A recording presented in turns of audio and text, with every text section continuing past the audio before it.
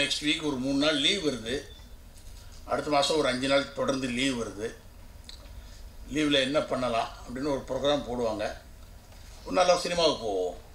Leave இருந்துச்சுன்னா சேர்ந்தாப்புல போய் cinema பார்த்துட்டு வருவோம் அப்படின்னு ஒரு பிளான் பண்ணுவாங்க. எனக்கு தெரிஞ்சு முதல் தடவையாக லீவ் வந்ததுன்னா சினிமாவுக்கு போவாங்க. சினிமா எடுக்கணுங்கிறதுக்காகவே லீவ் போட்ட டீம் இவங்க. அது ஒரு ஒரு சினிமா மேலே அவ்வளவு நேசிக்கக்கூடிய ஒரு தன்மை. எனக்கு இந்த டீம் அறிமுகப்படுத்தி பேசினது இந்த டீமில் ஒர்க் பண்ணது எல்லாமே ஒரு சந்தோஷமான ஒரு அனுபவம். இந்த படம் வந்து வெள்ளைப்பூக்கள் அப்படின்னு டைட்டில் வச்சு இந்த படத்தை இன்னைக்கு கம்ப்ளீட் பண்ணி உங்கள் பார்வைக்கு வச்சதுக்கு காரணம். நாங்கள் பிரமாமா படம் பண்ணியிருக்கோம். ஃபஸ்ட் கிளாஸான என்டர்டெய்னர் குடும்பத்தோடு உட்காந்து எல்லாரும் ரசிக்கக்கூடிய ஒரு வெகுஜனங்கள் ரசிக்கக்கூடிய ஒரு நல்ல படம். அப்படின்னு நாங்கள் ஒர்க் பண்ணும் பொழுது எங்களுடைய உணர்வை சத்தமாக குரல் எழுப்பக்கூடிய வலிமை உங்களுக்கு தான் உண்டு. எங்களை விட நீங்கள் தான் அதை இன்னும் கொஞ்சம் எடுத்துகிட்டு போய் சேர்க்க முடியும்.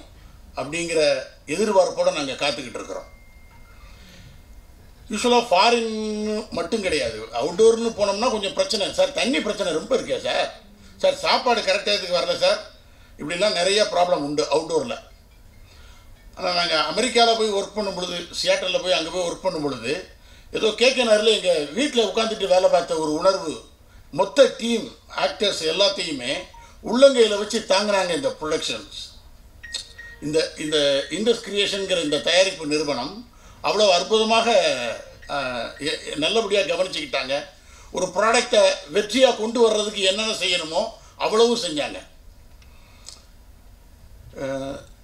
திரு திகா தயாரிப்பாளர் அப்புறம் அஜய் அப்புறம் சப்போர்ட் பண்ண சோமசேகர் கல்ராமன் டெண்டுகோட்டா வருண் இவங்கெல்லாம் வெறும் ப்ரொடியூசர்ஸாக மட்டும் இல்லாமல் ஒரு படத்துக்கு ஃபினான்ஷியலாக சப்போர்ட் பண்ணுறோம் அப்படிங்கிற வார்த்தையோடு இல்லாமல் அதை தாண்டி சினிமாவை நேசித்தாங்கங்கிறது தான் ஒரு அற்புதமான விஷயம்.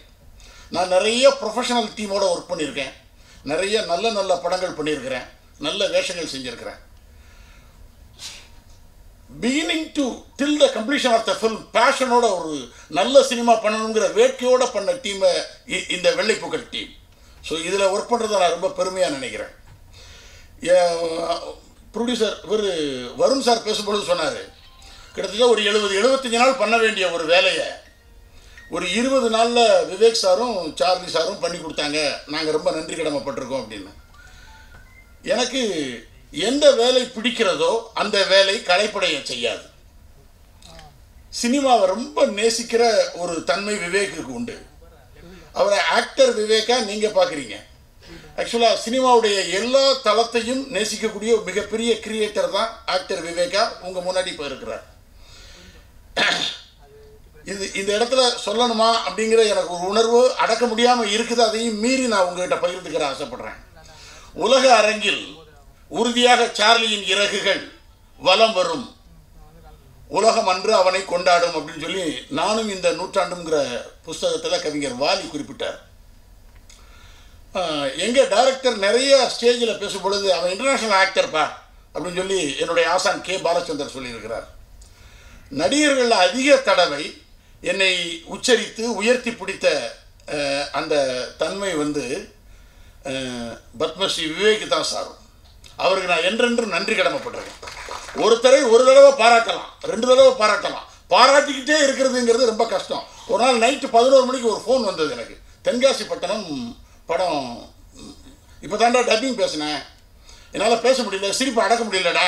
அதனால் நாளை காலைல பேசுகிறேன் அப்படின்ட்டு வந்துட்டேன். பிரமாம பண்ணியிருக்கடா அப்படின்னு சொல்லி பகிர்ந்துக்குவார். அந்நியன் படம் பார்த்துட்டு உடனடியாக இம்மிடியட்டான ஒரு இன்ஸ்டண்ட்டாக பண்ணக்கூடியதான ஜென்யூனாக ஏற்றுக்கிடுறோம் ஸோ அந்த உணர்வு எனக்கு விவேக் சாருங்கிற ஒரு ஒரு நல்ல நண்பனை சினிமா எனக்கு தந்ததுக்கு நான் என்றென்றும் நன்றி கடமைப்பட்டிருக்கிறேன். டைரக்டர் விவேக் இளங்கோவன் சார் வந்து ஒரு நாற்பது நாற்பத்தி ஏழு படம் டைரக்ட் பண்ணால் ஒருத்தர் எவ்வளவு நிறைவாக இருப்பாரோ அந்த மாதிரி முதல் படத்துலேயே பண்ணியிருக்காரு. முதல்ல எங்களை உட்கார வச்சு இதாங்க சீனு இது டைலாக்கு அப்படின்னு சொல்கிறவங்கள பார்த்துருக்குறோம். அதை தாண்டி சுதந்திரத்தை கொடுப்பார். நீங்கள் இப்படி பண்ணி பாருங்கள் நீங்கள் இப்படி செஞ்சு பாருங்கள் இதெல்லாம் வேண்டாம் அப்படின்னு சொல்லி.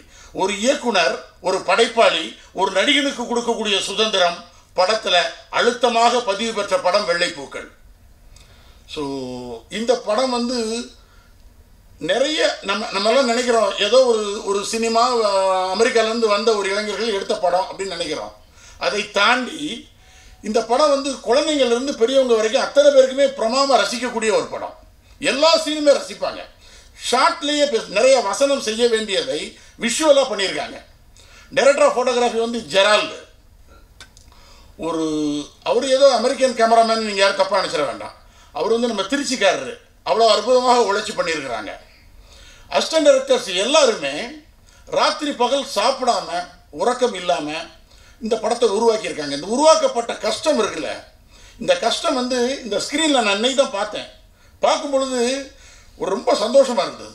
இதுக்கு இந்த படத்துக்கு டிசர்வ் டு ஹாவ் சக்ஸஸ் அப்படிங்கிற ஒரு உணர்வு ஏற்பட்டது. இந்த வெள்ளைப்பூக்கள்ங்கிற இந்த படம் வந்து தேவ் பூஜா நிறைய ஆர்டிஸ்டுகள்லாம் இதில் பங்கெடுத்திருந்தால் கூட எனக்கு என்னுடைய கேரியரில் ரொம்ப ஒரு முக்கியமான படம். யூஸ்வலாக காமெடி அப்புறம் குணச்சித்திரம் ரெண்டும் நகைச்சுவையும் குணச்சித்திரமும் மிக்ஸ் பண்ணி வர்றது வந்து ரியலாகவே ஆக்டருக்கு ஒரு சேலஞ்ச் இந்த படத்தில் எனக்கு உண்மையிலே ஒர்க் பண்ணும் பொழுது ஒரு சவாலாக அமைஞ்சது. எப்படின்னா எந்த இடத்துலையுமே லவுடராகவே இல்லை. ஆனால் ஹியூமர் இருக்கணும். எந்த இடத்துலையும் கண் கலங்குற மாதிரிலாம் இல்லை. ஆனால் பார்க்குறவங்க கண் கலங்கணும். ஸோ டைரக்டர் விவேக் இளங்கோவன் சாருக்கு நான் ரொம்ப தேங்க்ஸ் சொல்கிறேன் இந்த இடத்துல. அது very tough to present so இது இது எப்பயாவது தான் ஆர்டிஸ்டுடைய லைஃப்பில் அந்த மாதிரி ஒரு ஃப்ளாஷாக தான் அந்த மாதிரி ஒரு ரோல் கிடைக்கும். ஸோ அது அந்த மாதிரி ஒரு ரோல் செய்கிறத வந்து இந்த வெள்ளைப்பூக்கள் படத்தில் நான் ஒர்க் பண்ணதை ரொம்ப பெருமையாக கருதுகிறேன் இந்த படத்தை மிகப்பெரிய வெற்றி படமாக மாற்றக்கூடிய பொறுப்பு உங்களுக்கு. வாழ்த்துக்கள் நன்றி வணக்கம்.